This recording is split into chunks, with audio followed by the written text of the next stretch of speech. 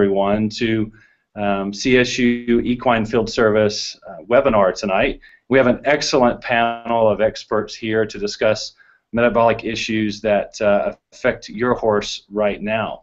So um, again, I'd like to welcome everyone to our first um, installment um, of equine veterinary education um, using technology. We, have had some great success using live meetings, but we wanted to explore this avenue and, and try to get you the most up-to-date equine education that we can without you having to leave the comfort of your laptop or tablet. Um, but we would like for this to be um, interactive and we need your help. We need questions um, to, to make this as interactive as possible. So please um, use the toolbar below um, this video to, to pose your questions. You can also go on the, the CSU VTH's Facebook page to post those questions um, or using hashtag paging Dr. Ram. So tonight we're going to be discussing metabolic issues that affect your horse. And this is a very important seasonal um, topic that we chose to, um, to educate you on tonight. Um, we have three experts. Um, I would like for them to introduce their, themselves. Um, we'll start off by Dr. Eric Renner. Would you like to introduce yourself, and then we'll go over to Dr. Russ Sakai. Yeah, hi, thanks, Luke. I'm Eric Renner, and I'm one of the field service clinicians here at CSU. I've been here for a couple of years now and uh, really enjoy being in the area of northern Colorado. Uh, certainly enjoy working with horses, but in my free time, I enjoy getting out and doing some camping and fishing in the area as well as trail riding.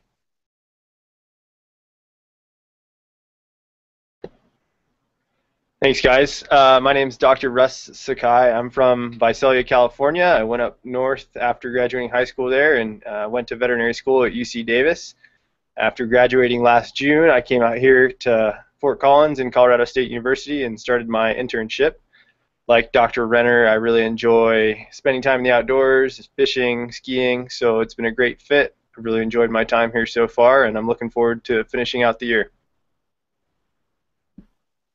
And guys, my apologies. My name is Luke Bass, and I'm an equine um, field veterinarian here. I, I, had the pleasure of going to this great university for six years. Got two degrees. Um, one, as you know, is in Doctor of Veterinary Medicine, and then went to California for five years. Practiced at a large referral center there, and, and I'm very happy to be back in Fort Collins, back around the college. Um, decided to raise my family here. I have a three and a half year old son and a daughter that's due in June. So very excited for what we have going here in Fort Collins, what we have going on in the field service, and um, and really excited about the the opportunity to to present this information to you tonight. Um, with that, we're, we're going to have three discussions, short discussions. Um, the first will be on insulin resistance or insulin dysfunction. Dr. Eric Renner will talk um, about that, and then I will um, give a short discussion on Cushing's disease, and then we'll finish the discussion with a very um, important but frustrating disease that we face on a daily basis, laminitis. Um, after that, we're going to answer um, any questions that you may have. We, have had the, the luxury of having some questions already um, presented to us uh, today and yesterday via um, Facebook and email, so we'll try to get to those questions and we'll try to answer as many questions as we have time for. Um, however, I know horse people like to talk and they like to to enjoy each other. So we'll, we we may not get to all the questions, but we'll do our our very best um, to get back to those via email and hopefully get your your questions um, asked in a timely fashion. So with that, let's get started. Um, let's let's turn it over to Dr. Renner and talk about some insulin resistance, and then we'll kind of take it from there. Great, thanks, Luke. Um, hold on a moment while I pull up this uh, PowerPoint slide.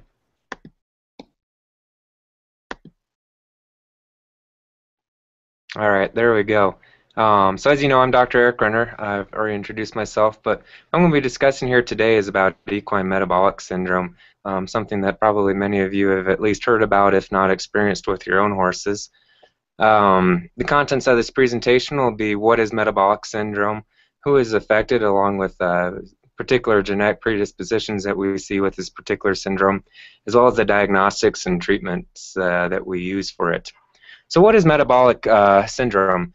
This is defined by evidence of the following, that being insulin resistance, uh, obesity, and regional adiposity. I'll describe what regional adiposity uh, refers to here in a moment, as well as many of you, I'm sure, are aware of laminitis in particular, is what uh, where we see a lot of the problems with this particular syndrome. Typically, these horses are considered easy keepers. That being said, that uh, these horses tend to maintain a higher body condition and tend to not need to eat as much feed. If you look at the body condition scoring chart on the upper right hand corner here, you can see a horse that's illustrated and there's individual circles that depict regions that we assessed a body condition score for. This is out of a scale of 1 to 9 with 5 being ideal. Uh, typically, what, what we define a horse as being a beast is that is of a body condition score of 7 or greater. Uh, the, the primary spots that we tend to see fat depos dep depositions taking place in will be along the crest of the neck and along the base of the tailhead. That can be seen from letter A and D. Other regions that we assess would be behind the shoulder, along the, uh, the withers, the ribs, and along the top line of these horses. If you look at the gray horse down below, the orange arrows show these regions, and you can see a particular crest to that horse's neck, and some of the other pictures that I'll be showing later on will depict that even more. Other regions that we can tend to see regional adiposity or regional fat accumulations can be in geldings or stallions along the sheath, and in mares along the mammary gland region. So moving on, so who's affected? Typically, we're seeing this occurring in young to middle-aged horses, particularly seen that developing at the time of maturity, but it can also develop, as I've already mentioned, in horses that start to get older um, and further along in their years. Genetic predispositions that we see on these are that these horses have an enhanced ability uh, to metabolize feed and extract energy. That being said, that's where we come up with that term typically of these being easy keepers. Ponies oftentimes are predisposed to insulin resistance. And other breeds that we see this particular syndrome in can be in Morgan horses, Paso Finos, Arabians, saddlebreds, quarter horses, Tennessee walking horses, and warm bloods. If you look at the picture on the lower right hand corner here, it shows a horse that just clearly fits that um, depiction of a horse with regional fat accumulation. This is a horse that's obese, meaning that he's a body condition score of a 7 or greater. And what you can really tell from him is you can see a large crest over uh, his neck. You can see the large fat accumulations be, uh, behind his shoulder, along his back, and particularly around the base of his tail. So the diagnostics that we generally use for this, the, the screening tool that we like to use is this resting insulin concentration. This is a tool that we use typically um, either on the farm or at the stable. Um, and what it involves is fasting the horse, meaning that we don't feed them the night before, although a flake of hay can be given to reduce the amount of stress that the horse may experience from not being fed.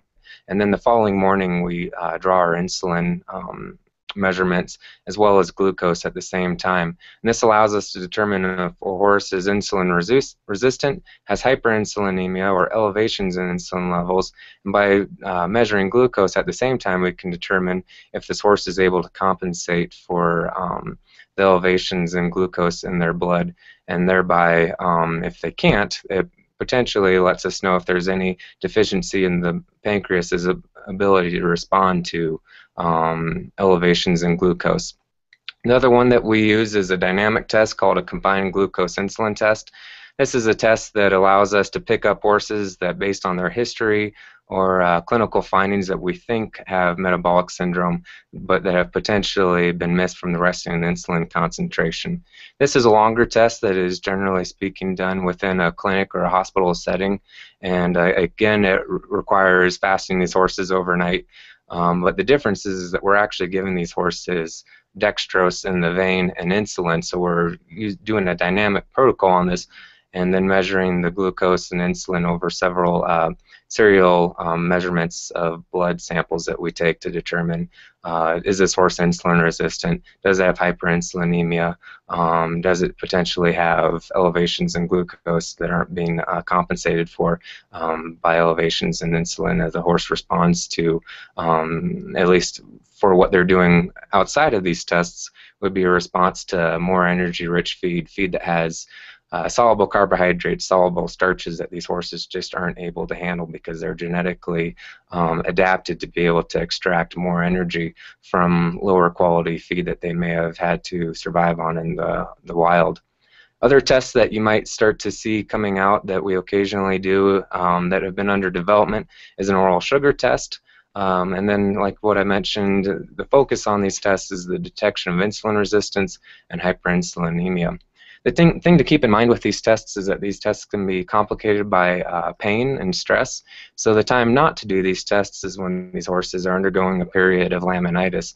This will um, create false results uh, in our samples. The other thing is, like I mentioned, stress uh, can alter the um, the findings. So let's say you're doing a combined glucose insulin test, you may be asked to keep the horse there a couple days so that they can become comfortable in uh, their new surroundings, so as to not complicate our test results. So the treatment of horses with equine metabolic syndrome uh, is revolves around two uh, principal strategies. One being weight loss, and the other being improving the insulin sensitivity for these horses. It's often been discussed that there are seasonal effects of the pasture. Uh, probably heard that we recommend that you keep these horses off of the spring pastures because at that time the non-structural carbohydrate concentration and the starches within uh, the grass pasture is at its highest. And again, this is just too much energy. It's too much sugar for these horses to be able to um, to metabolize effectively and safely. Similarly, uh, in the fall, when we start getting into freeze cycles, there's just more sugar in the pasture. That's another time to uh, avoid having these horses uh, out on this pasture and able to eat these uh, higher energy rich feeds. Other things to avoid would be uh, grasses that have been used for uh, feeding cows, as these are generally speaking um, higher in their energy concentration, and those that have been fertilized. Again, just getting back to that whole thing that these horses have enhanced metabolism uh, to extract energy from uh, low quality feed for that reason, we, you just cannot feed these horses sweet feeds. Even to bring these horses in from pasture, a handful of grain, you know, a carrot and apple can potentially be too much for these horses. Uh, elevates their insulin concentrations in their blood, and by doing so, um, that link between hyperinsulinemia or high levels of insulin in the blood, insulin resistance, uh, there there's a believed correlation between that and the development of laminitis, which is what we want to avoid. For obese horses, the ideal body condition score of a 5, or let's say it's a quarter horse, would be a 1,000 pounds. Um, for those, we're going to feed them 1.5% of uh, that body weight in hay per day. So going back to that horse, typical quarter horse, thinking a 1,000 pounds, should generally speaking receive 15 pounds of uh, dry forage or hay a day. The other thing that we recommend doing with these horses is just testing the hay, making sure that the non-structural carbohydrates, those being um, not, uh, oh, I'm sorry, the non-structural carbohydrate being less than 10%. That being said, that would be those soluble starches, those soluble carbohydrates that we're concerned about in these horses. That non-structural carbohydrate formula being less than 10%.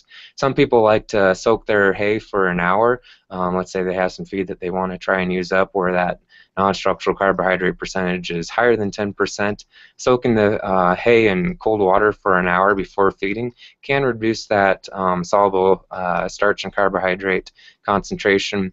But if you can test your feed and get it less than 10% itself without soaking it, that's a more effective measure of being certain that you're feeding the appropriate hay to these horses.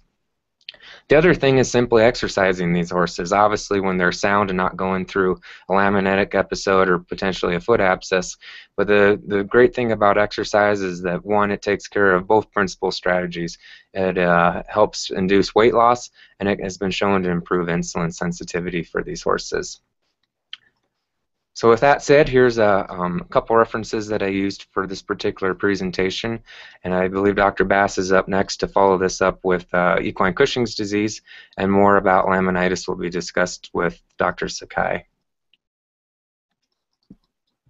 Thanks, Dr. Renner, for that great information um, on equine metabolic disease. It's something that we unfortunately have to deal with um, on a daily basis, and so I really appreciate him taking the time to discuss that there was one question uh, during his talk, and that has to deal with the availability of the PowerPoints. Um, if, if, you would like a copy of these PowerPoint presentations, um, please feel free to email us. Um, the email address that you'll be using is cvmbs um, dash social media at colostate.edu. Um, we'll, we'll, we'll revisit that in, in just a moment, but again, it's uh, cvmbs dash social media at colostate.edu and we'd be happy to share these um, PowerPoints with you if you'd like, uh, you know, like these again. Um, and again, one thing I forgot to mention at the beginning is if you'd like to share this with your friends or, or maybe want to watch it again and you missed a couple of points, um, please feel free to, you know, to visit the CVMBS, the CSU College of Veterinary Medicine and Biomedical Sciences YouTube page, or visit the Veterinary Teaching Hospital's Facebook page, and you can be able to watch um, watch these again.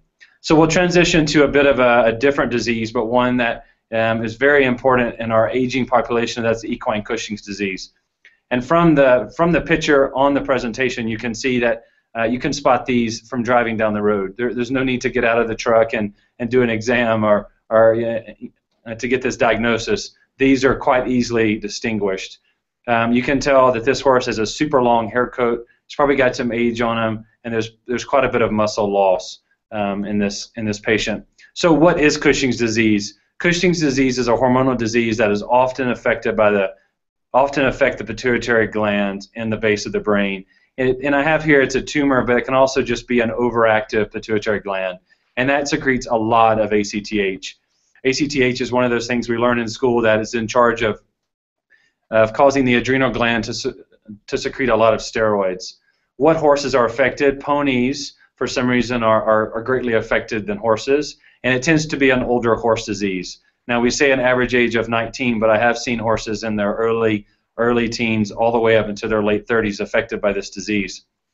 It's a long, slow progression of disease. It's not like they just took a bad step and developed Cushing's disease. This is something that takes a long time to develop. The hard part for owners is actually see a difference when they see their horses every day. So it makes it really, really difficult for you as a very observant horse owner to notice the subtle changes when you're spending a lot of time with your, your equine uh, partner we have some diagnostics, we have some tests that we can use to, to test for the disease, but nothing's perfect.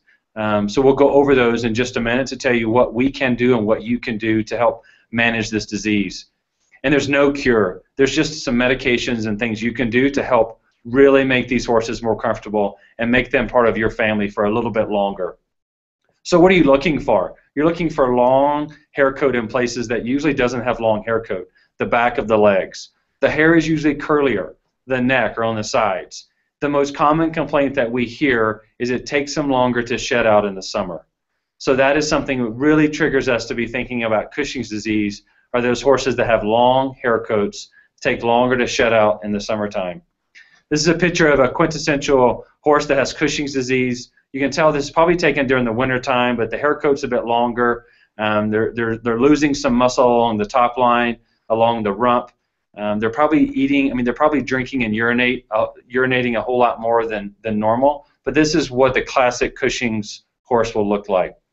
What else can you see from Cushing's? They may be lethargic. You may think, well, you know, he's 22. He doesn't have to act as, as bright and happy as he used to, but that could be a sign. Doesn't want to be ridden as much. That could be a sign. Maybe he's not as active in the pasture, not running around, not bucking when it's cooler in the morning. He's slower to come in at night. Just taking a little bit longer to get the things done that he should do quicker, that could be a sign of Cushing's disease. Another thing that we look for may have a harder time rising and coming coming out of pasture. All these things are, are, are things to look for when dealing with a, a horse that may have Cushing's disease. Probably one of the more debilitating parts of this disease are the chronic infections. We're looking at a horse that may have more than the average solar abscesses or foot abscesses. Those horses that have laminitis with really no explanation whatsoever, we want to be thinking about Cushing's disease.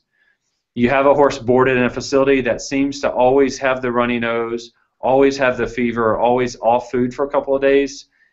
We may be worried about Cushing's disease. Other things to be looking for tooth root abscesses, chronic sinus infections. These are signs that we want to be able to, to look at and say, is there something that's causing this problem? We want to look for the initial cause and not just put a band aid over what you see. Probably the most important thing is the drinking and urinating. It can be so difficult because you're at work all day, you come home, you have automatic waters, you just see your horse drinking, but he may have been doing that all day. Very, very common um, symptom of Cushing's disease is drinking and urinating. So, what are you going to see? You're going to be filling the buckets more common. The stall may be wetter, the place he he picks to urinate may be more maybe wetter than it usually is. And the stall may smell worse than, than normal, may have more of that urea built up from, from more urinating. So how can we test this? I was joking or uh, I was joking earlier about not doing an exam on your horse. Of course, we want to check him out, but what can we do to diagnose this problem? There is a blood sample that we can take, and we're looking for plasma ACTH. Now, if you remember, we in the in the very beginning we said there was a hypertrophy or a tumor that caused ACTH to be secreted at a higher level. This is what we test, and we're looking for those levels below 35 picograms per mil. Why does that matter? That matters because that's kind of our cutoff level to say this horse is suspect of Cushing's or this horse is negative for Cushing's. The great benefit to you is it's a one-time sample. The hard part is there is a gray area in normal and abnormal. This also can be used to assess treatment. So, for example, we come out, we draw blood on your horse, we put him on the medication, and then we may test him or her in 30 days just to see how good we're doing, just to see how good and what progress you're making as well. It does. It is important to mention the other methods of testing, and the first is called TRH, and that's a thyroid resting hormone. It's not clinically usable right now, but it's something we're trying to try to get um, to be able to use in the future. And then a DEX suppression test, and this has to do with injecting a steroid in the horse and then testing levels at a certain period of time. The hard part about this test is a lot of these horses have had laminitis or may be prone to laminitis. So we sure um, don't want to set off any problems. So our most common way of testing for this disease is the plasma or the blood ACTH. So which brings me to my last point, and that is what we can do about this problem or this disease. The one medication which most of you have heard about is Pergolide. The really cool thing that we've had in the last couple of years is we finally was able to get an FDA approved medication called Prascend. It's really the only thing that comes in the pink box, so you really can't mistake it for anything else. This actually goes and works at the level and decreases the amount of ACTH. In addition, we do advocate for routine farrier and dental appointments, so we're really not missing those abscesses. We're not getting behind on any um, dental infections or laminitis. Using prompt therapy for any infections, trying to stay on top of things is quite important. Routine vaccination and deworming schedule just improves the overall health of the horse. So that's something we always advocate to keep a horse happy and healthy. And then, of course, just like we're going to mention tonight on several occasions, ensuring proper body condition, having an appropriate diet and exercise. Like Dr. Renner discussed earlier, diet is paramount in treating metabolic disease. Diet is also in, in, important in managing Cushing's disease. So again, the medication that we advocate is Prascend. Um, a lot of people are still using the compounded medication, uh, compounded medications, either the suspension or the powder. This is the drug to use. It's the only FDA approved medication that we guarantee that will help your horse. Now from here we'd like to transition over to Dr. Sakai and he's going to talk a little bit about laminitis um, and then we'll have questions and answer sessions after that. So I'll turn it over to Dr. Sakai. Hey, thanks, Dr. Bass. Thanks, Dr. Renner. Those are both great talks. Um, my goal for this is going to be to try and tie those into laminitis, which is something that is a, is a major problem. It's often what um, is causes these these horses in the end to have to be euthanized, and, and so it's something that, that we need to address. I wanted to start out first by kind of talking about what laminitis is. Um, as you see here, we have some x-rays on the top right. Uh, I've been told my pointer works here, so so hopefully it does. On the top right here, you can see the the horse's hoof. There's the the long pastern and the short pastern, and then down at the bottom the coffin bone. In the back there, you see the navicular bone. And when a when an, a veterinarian comes out and takes X-rays of the horse's foot, they're looking for what we call rotation. So in that bottom left, you can see that there's a bigger space down towards the toe of the coffin bone as opposed to up at the top. That's what we term rotation. So when we use the term rotation or sinking, we're, we're referring to displacement of that coffin bone within the hoof capsule, and and that's kind of the end result of laminitis. Before that, you have inflammation of the soft tissues that kind of suspend that bony column within the foot. So that inflammation is is actually what's occurring, and then the, the result is a, a breakdown in the connections that, that hold that foot in place within the, the hoof capsule.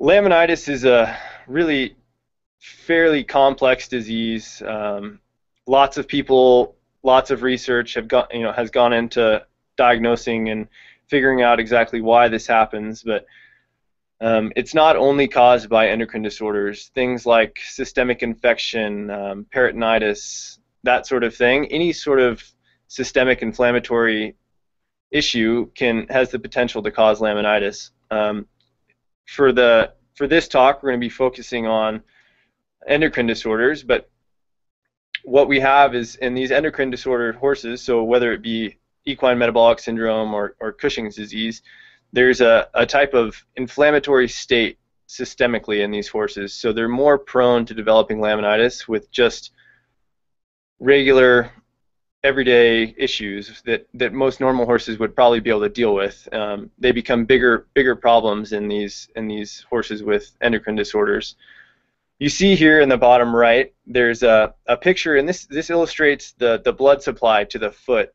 And one of the big problems we have is that with insulin resistance, there's a higher concentration of insulin, and insulin works on those blood vessels and can can affect the the blood flow to all that soft tissue that we talked about earlier that becomes inflamed. When you reduce that blood flow, there's a difficulty for that tissue to produce energy. And and without being able to produce energy the tissue starts to die. And that's when you get inflammation and and problems with laminitis in the top left here you have a cross section it just illustrates the soft tissues that we've been talking about that become inflamed in laminitis and then in the bottom left there's a there's a really cool pro section here that shows the coffin bone and then the the lamina which are the soft tissues and then the hoof capsule here. So it's it's a way to kind of visualize what is happening.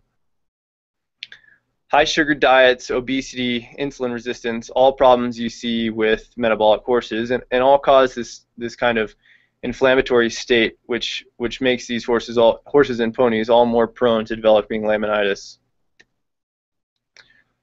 So what does laminitis look like? Um, on that right hand side, the the gray horse here, is kind of the classic laminitis stance. It's it's every horse owner's nightmare to come come home and find their horse standing like that. It's a kind of a telltale sign that we see that makes us think laminitis right away. Um, in that the left-hand side, we see a, a metabolic type horse, a little bit overweight, cresty neck, out on lush green pasture like we're about to have here in Colorado in the springtime, and, and we think laminitis the bottom left there, colicky horses, down horses, horses that don't want to rise. Um, essentially, laminitis is a disease that can look like anything.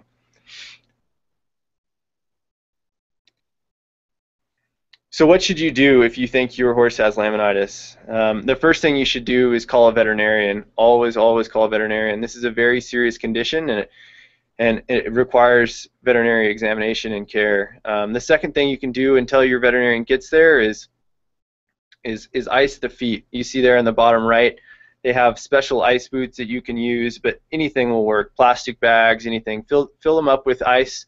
Set uh, get your horse to stand in them. Get your horse to stand in a cold spring, cold cold creek, anything like that padding, so whether that be at the bottom of the foot or in the stall, um, lots of people advocate deep sand bedding just to take some of that pressure off off the feet and make the horses more comfortable. And then pain medication. Your veterinarian will likely prescribe some sort of non-steroidal anti-inflammatory, most likely bute.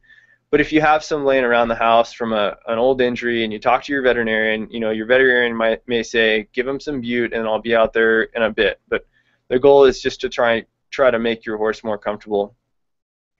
Um, what I didn't mention on the previous page was some signs that that your horse has, you know, maybe suffering from laminitis that you can detect. And um, one of the most prominent things we'll find will be heat in the hooves. And, and you put your hand on the, the front of the hoof wall and, and it'll be warm. And you can compare it to the hind legs or to the other foot and and you know you may be able to detect some difference. And it's a subjective measurement and you know, but it, it can give you a hint sometimes as to what's going on. So what to expect from your veterinary visit? Um, you call us out, and we're going to come. We'd start with a physical exam and a thorough history. Um, is your horse? Does it have a history of metabolic disease? What sort of medications is it on currently?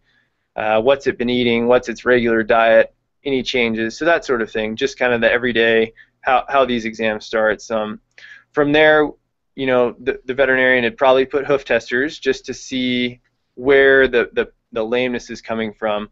Most often, these laminitic horses are fairly sensitive, and it's a it's a good test for us to use to to determine what hurts. The next thing um, we may or may not do, depending on the situation, is that if, if we do detect pain or heat coming from the feet, is we may take X-rays.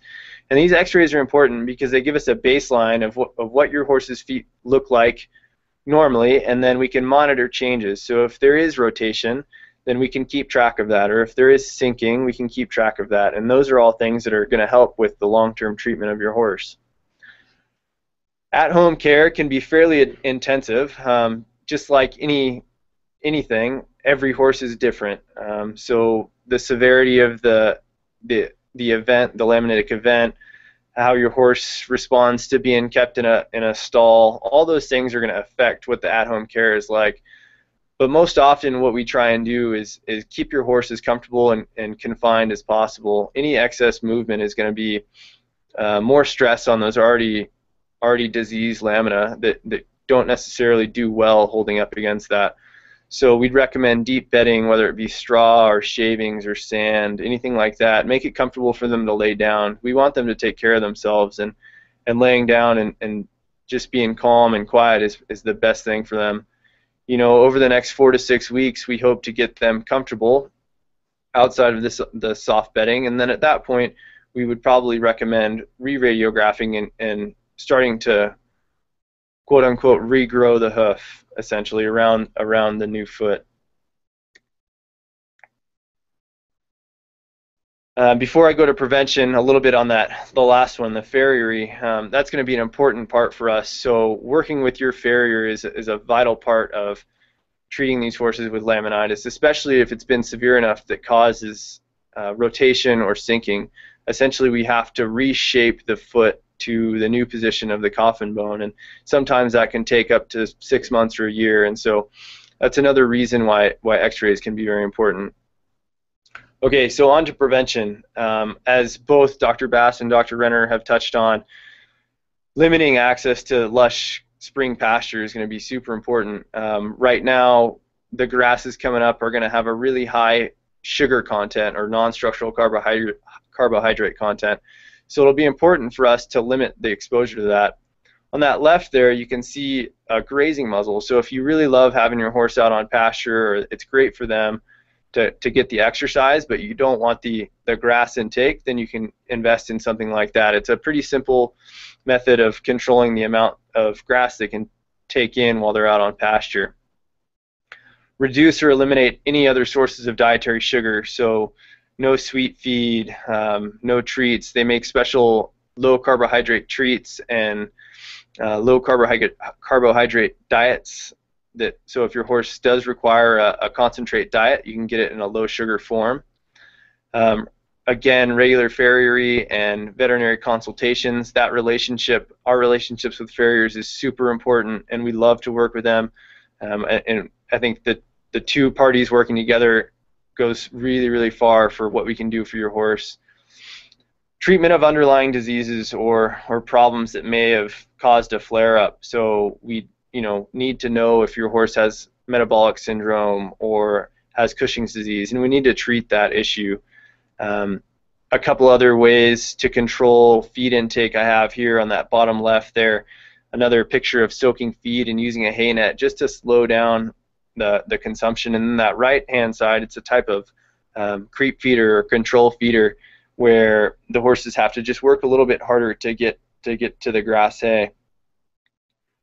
Um, otherwise, just being being aware of, of what your horse is getting turned out onto, um, keeping you know, keeping tabs on their feet, paying attention to are they a little bit sore today, you know, maybe what happened that would cause that. All those things are, are just um, important to, to keep an eye on.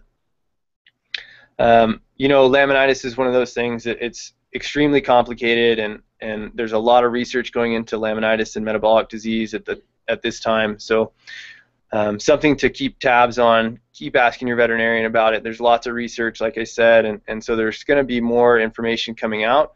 But right now, we want to just um, use what we have and, and take care of these horses so we can keep them going as long as possible. So that's it for me. Um, I think we have some Q&A here, so I'll turn it over to Dr. Bass.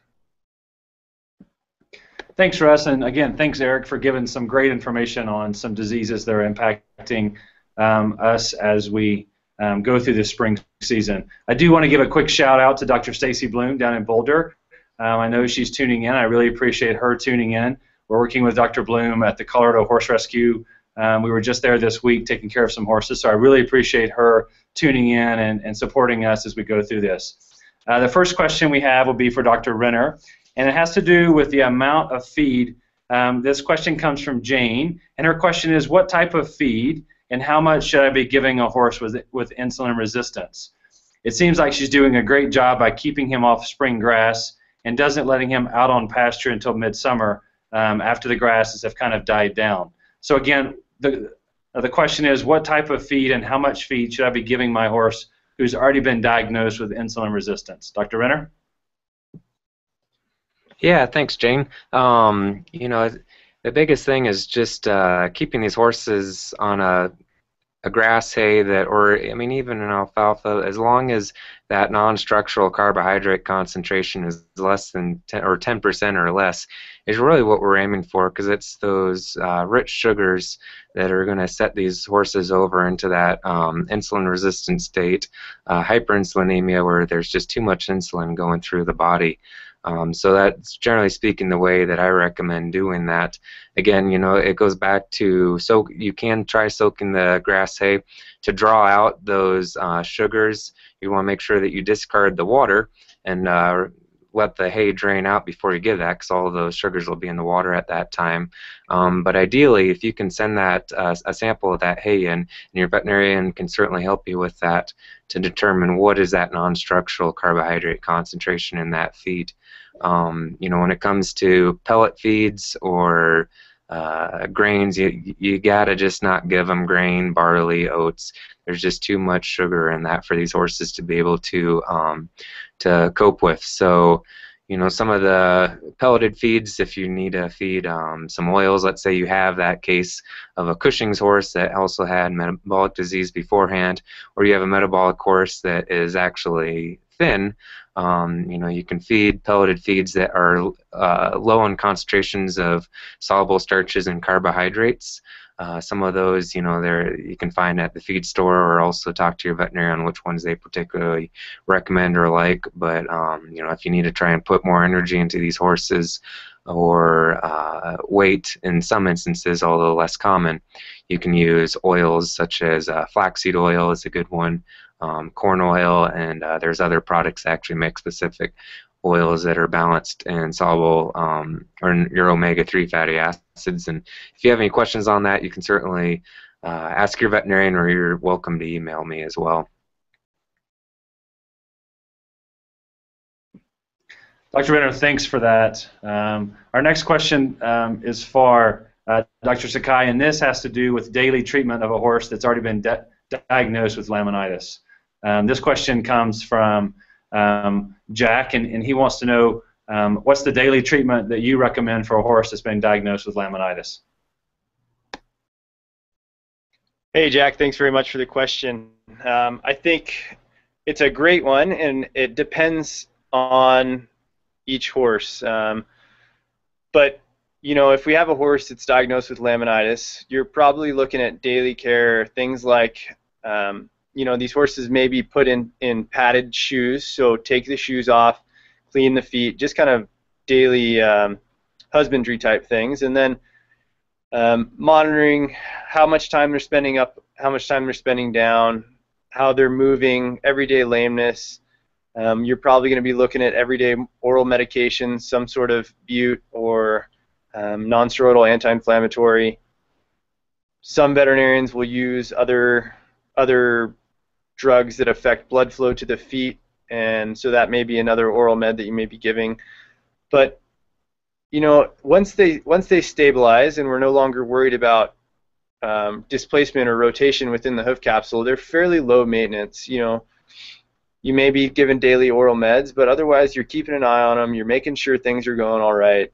Um, if if you're concerned, call your call on your veterinarian. But um, everyday care is pretty straightforward once we've once we get them stabilized. Great question. Okay, our next question has to do with Cushing's disease, so I, I guess it's my turn to answer one. Um, and the question comes from Stella, and she says, if I have a horse that's been diagnosed with Cushing's disease, how long does it take um, the horse once it's been on the medication Pergolide for my horse's symptoms to improve? And that's a very common question that people will ask. And so the one thing I forgot to mention with the medication is it can cause horses to be slightly lethargic, and it can cause them to go off their food for a period of time. So if you do have a horse that's been diagnosed with Cushing's and you're you're seeing one of these signs, please let your veterinarian know. But back to the question, how long does it take before you you tend to see signs? You're, you're looking at weeks to months. It's not something that's going to to, to be overnight. It's something that you have to be very persistent with. It's something that's going to cost a little bit of an investment to actually get your horse lined out. But if, if, if for example, we come out, draw blood, and put him or her on the pergolide and retest, and that that number is back in the normal range, we may be able to reduce the medication um, back down to a more manageable um, amount. And again, it's not something that we can take the horse off of the medication, but it will take weeks to months. Um, other than the, the couple of um, you know side effects that I talked about, the medication's super safe, and it's really the best way to treat your horse um, for Cushing's disease. So I think we have a time. We have some time for a couple more questions, and we'll we'll go back to Dr. Renner. Uh, this question is from Jesse in Florida, and Jesse asks, "Is turnout on pasture bad for my horse with equine metabolic syndrome?" I think it's a very very common question that we get. Um, again, just to repeat, is pasture turnout bad for my horse that has equine metabolic syndrome? Dr. Renner?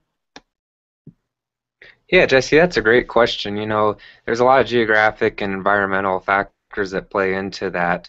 Um, you know, with the the previous question about uh, you know how much I should feed or what should I be feeding my horse, uh, keeping those horses off of the spring uh, lush grass pasture and the fall uh, pasture when you start getting freeze cycles.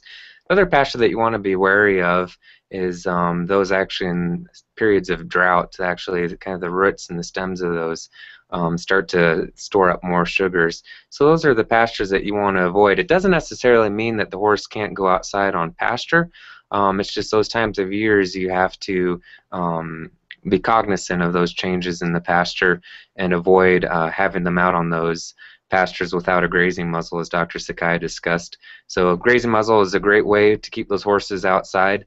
Um, the, the nice thing about that is it actually keeps the horses moving around so they're exercising throughout the day um, with those in place. And then certainly once you get into the uh, summer when that grass starts drying out and um, is losing its sugar concentration, uh, those are times that those horses are um, less affected at being out on pasture. But I think it's certainly if you have the ability to keep a grazing muzzle on those horses, uh, during the particular times of year that we uh, discussed as a period that we're in, concerned about, that's a great option to keep them outside and exercising. Great question. Thank you. Thanks, Dr. Renner. And, and as you see us um, on the screen, our name comes up, and, and we're here to help, right? So if you ever have questions for us, you see our name. If you put a dot in between our first and last name, if you add at colostate.edu to the end of it, that's our email address. So if you have any questions that you're too shy to ask, or maybe um, you have to run outside and tend to your colicky horse, um, then feel free to email us. You know, and, and, and any one of us can hopefully answer those questions. So again, just put a dot in between our first and last name, add at colostate.edu to the end of it, and um, you got direct access to you know to one of us. The next question is for Dr. Sakai, and it's a very um, common um, uh, question that we that we see. Can chronic abscessing in the foot cause laminitis? Um, again, the question is from Sharon in California, can chronic abscessation in the foot cause laminitis? Dr. Sakai? Hey, Sharon, thanks for the question. Um, it's a good one, and it's something that we all, if we have these metabolic disease horses or Cushing type disease horses, it's probably something you're going to face. Um, like we talked about earlier, these horses are kind of in a pro-inflammatory type state. So any any sort of infection or inflammation is going to cause these horses to you know potentially become laminitic. Um, whether it's a, a serious episode that that results in you know necessitation of, of veterinary care or hospitalization, you know, it's hard to say, but any type of, of infection like that is has the potential, especially when they become chronic and these horses are constantly dealing with abscesses. They're going to be bearing a lot of weight probably on the other foot, and that's another issue that can come up. Is is as they do that, they're going to compromise the blood supply to those soft tissues, and, and can potentially result in laminitis in that foot. So I guess in, in the end, I would say is that if your horse is suffering from, from chronic abscesses, it's something that you really need to deal with as far as um, having veterinary and farrier care come out, x-ray the foot, see if we can locate it, and, and treat it accordingly because they can they can develop into well they can they can put stresses on the foot that will predispose these horses to laminitis. Thanks for the question. Awesome. So I think we'll take one more question apiece. Um, if you know, again, if you have any questions that you want answered, please type them in at the bottom of this um, viewer, or you can email them to us. Uh, CVMBS um, slash social media. Sorry, dash social social media at colostate.edu. Uh, uh, the next question is from Chase from Louisiana, and Chase wants to know: Are there any certain breeds that are more prone to getting Cushing's? Or is there more breeds that, that Cushing's is more common in? And we touched on this at the very beginning of the Cushing's presentation, but it's those breeds that are easier keepers. It's those ones that you just have to pass hay beside them, and it seems like they're gaining weight. Ponies are more prone to Cushing's disease. Morgans, some some saddlebreds, um, Paso Finos, uh, those breeds that are, that are ones that, that you really don't have to feed them much um, can be more prone to Cushing's disease. We haven't figured out if there's a sex um, predilection, but we do know there are some breeds that really have to be managed quite tightly for equine metabolic syndrome and Cushing's disease. So again, great question, but um, you want to just watch those those uh, those breeds that are that are very easy to keep um, keep around. Uh, Dr. Renner, there's a question from Cheryl, and she wants to know: Are there any drugs we can use to treat horses with equine metabolic syndrome? Um, I, it seems to me that everyone wants a medication for every problem, so I think Cheryl's looking for that for that easy fix. Um, but is there anything that we can treat our horses with drug-wise or medication-wise that may help with equine metabolic syndrome? Yeah, thanks, Cheryl. That's a actually that's a terrific question. Um, there is some drugs that we can use. Um, it's actually a similar drug that we use in dogs with hypothyroid disease. Um, levothyroxine is a drug that we can use to help induce weight loss on these horses. Uh, the, the thing with that drug, though, is before you use it, you got the foundation, the principle of treating these horses is getting them to lose weight uh, through exercise. Um, there, there's no real substitute to getting the, these horses to lose weight other than exercise and along with uh, dietary management of um, reducing the amount of feed that these horses are getting a day, uh, removing all the uh, sugar-rich feeds uh, that we may feed a different horse, like say a thoroughbred potentially, that's less prone for metabolic disease. Um, once you've taken those uh, steps of going down to um, you know, potentially 15 pounds of uh, grass hay, or even down to uh, 10 pounds or 1% of the body mass. Um, if at that time that you've reduced the feed, you've cut out all the sugars, and you've been exercising the horse, and they're still not uh, reducing their weight to a, um, a significant uh, weight level that we would like to achieve for these horses or a desirable weight, at that time you can discuss with your veterinarian potentially using a drug such as uh, levothyroxine. Metformin is another one um, that is occasionally used. So, great question. Um, I wish there was a miracle drug. Uh, there isn't. It really just comes down to exercise when the horse is sound. Um, and then the dietary uh, management. But that is potentially a drug that, in certain instances, that can be utilized.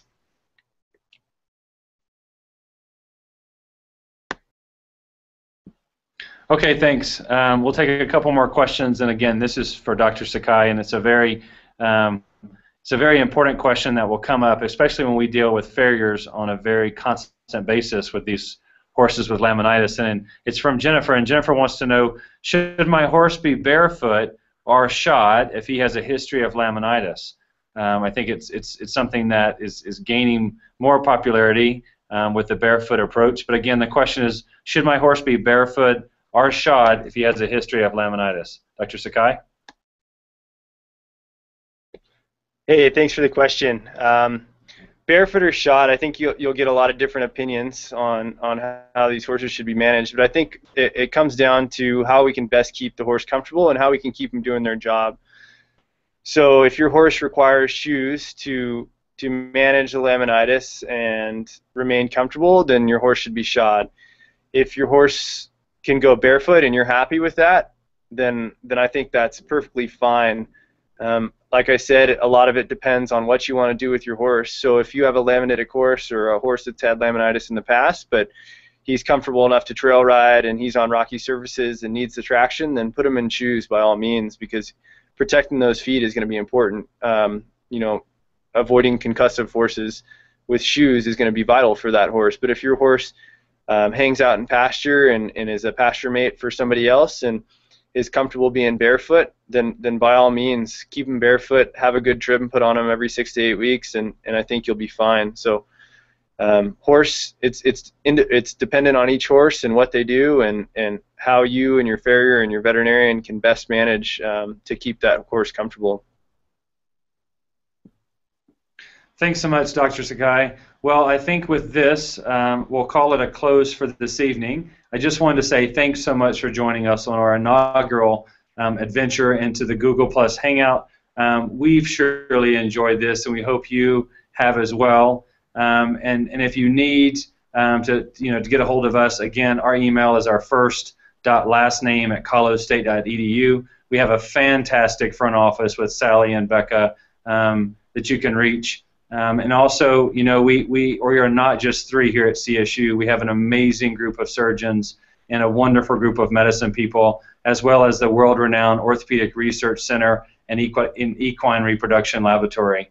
So if you ever have any, um, you know, equine veterinary needs, questions, we're here to help. You just have to reach out, and we have uh, plenty of people to help you out there. So again, thanks so much, Dr. Sakai, Dr. Renner. Um, thanks so much for the college of veterinary medicine and biomedical sciences social media team.